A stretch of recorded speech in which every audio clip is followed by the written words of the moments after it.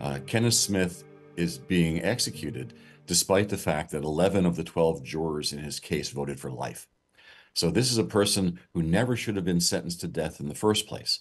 Uh, but Alabama had a requirement, I'm sorry, Alabama had a law that permitted the trial judge to override the recommendation of the jury. It no longer does that. Uh, it is impermissible, uh, and no state in the United States uh, permits a judge to override a jury vote for life.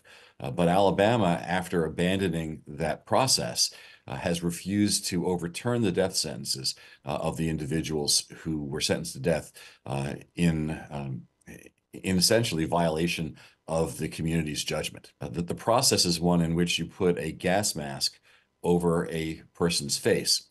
Uh, and that gas mask will contain oxygen, and then that will be replaced with nitrogen. The theory is uh, that the person will inhale the nitrogen, which is odorless and colorless, uh, and um, and doesn't have a taste, uh, and it also uh, is present in the air that we normally breathe. Uh, they will substitute the oxygen for substitute the oxygen with nitrogen, and the person, the theory goes, will quickly pass out uh, and then die. That's not what the scientists say, though. What the veterinary medical people say is that you can expect a nitrogen euthanasia process uh, to take upwards of seven minutes. So it's not you just quickly go to sleep.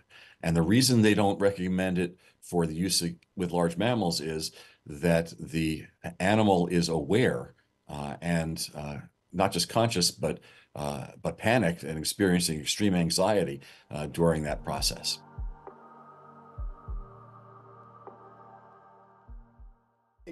Kenneth Smith's execution risks to be a milestone execution if it happens, because it sets a new standard. It lowers humanity at the level of the of a state that has a frenzy and uh, a killing fury against one individual, trying to kill him twice after a terrible botched execution that lasted for four hours.